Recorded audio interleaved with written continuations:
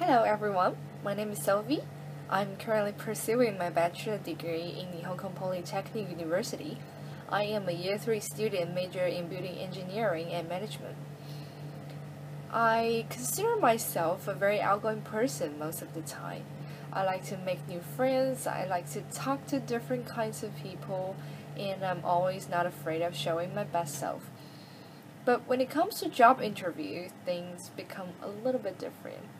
I've been to a few job interviews, but my performance is not always satisfactory. I think it has something to do with my preparation, my confidence, and most importantly, my passion for the job.